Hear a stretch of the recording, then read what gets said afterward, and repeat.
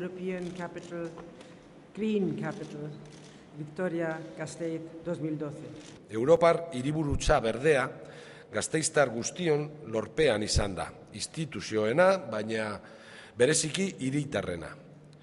Beraiek izan dira urteetan zehar iraunkortasunaren alde egindako apustuaren arduradunak. Urte honetan, gazteiz mundura aurkesteko aukera dugu, milaka gauza ditugu arro egoteko.